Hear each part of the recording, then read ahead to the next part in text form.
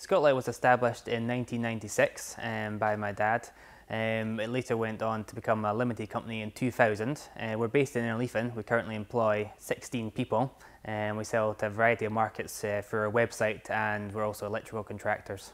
The primary market just now through a website is retail customers. About 70% is domestic customers, but we also supply um, commercial markets. We've done hotel projects and restaurants um, with some of the designer lights, so there's been a few exciting projects in there as well.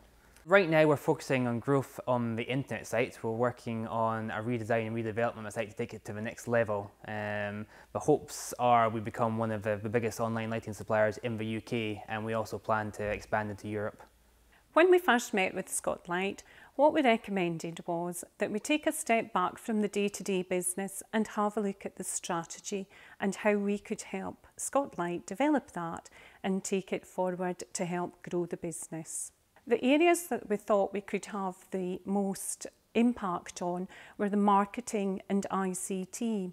So what we did, we brought a marketing and ICT specialist in to look at how we could develop that with the owners of the business. Business Gateway have helped out with a variety of things. It has been mostly marketing, um, sort of establishing who our customer is for the e-commerce site and how we can better target these customers. Um, we've been on a variety of courses and spoke to specialists. Um, it's also helped us with a rebranding. We completely redid the company's logos um, and the vans, etc., to, to bring it up to date. Scotlight have rebranded, they now have a new image and are working on the website. And what we hope to do with the website is to increase the customer base and therefore grow the business, have more sales.